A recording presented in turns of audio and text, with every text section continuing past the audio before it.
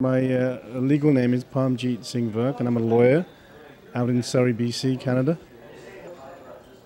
I started out thinking I could not have my own business.